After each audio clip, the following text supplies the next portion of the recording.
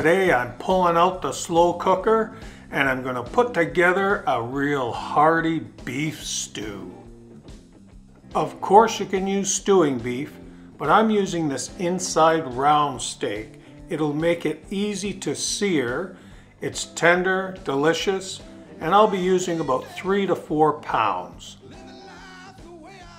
My seven quart slow cooker, I've added one and a half white onions, four very large carrots, and five medium white potatoes, all diced up. I have my cast iron on high, and I've put a tablespoon of vegetable oil in it. You can use peanut oil or any oil that has a high smoke point. Just never olive oil in your cast iron pan as it's a low smoke point and it will get sticky in your pan. Generously season with salt, pepper, and garlic powder and make sure you get both sides.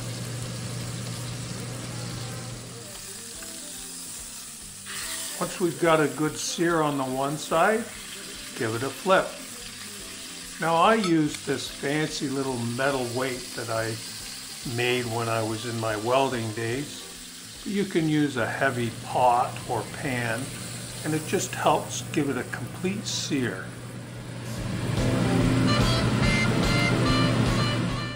Let it rest for 10 minutes and then trim off the fat and dice it up into about one inch cubes, whatever you prefer.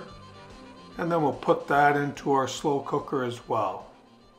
Now I'm going to add a couple of cloves of garlic, finely chop them up, and we'll add that to the stew as well. And a half a teaspoon of salt, a half a teaspoon of pepper, and a quarter cup of flour. This will help thicken up our broth.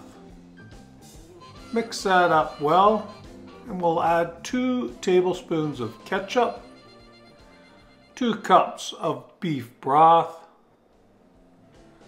1 teaspoon of ground rosemary, about 12 ounces of your favorite beer, and stir it all up well. We're going to cover that and set it on low for 10 hours. When there's about two hours left, we're going to add one can of corn. I like peaches and cream and two cups of frozen peas. And then just give that a good stir. Now with one hour remaining, we'll add one teaspoon of cornstarch mixed with water.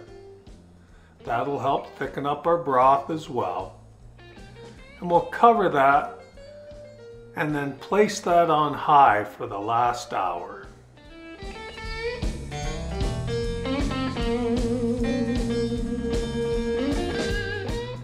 Oh boy, that's gonna be tasty.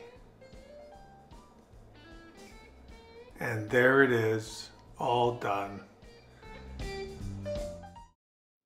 Well, now I get to try the goods. Oh boy, looks delicious. Oh. Oh yeah. Hmm. The meat's very tender.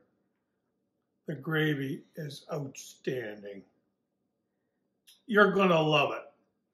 Thanks for coming out and watching In the Kitchen with Pete. Until next time, see ya. Well, if you don't love it, baby, please don't pretend you do.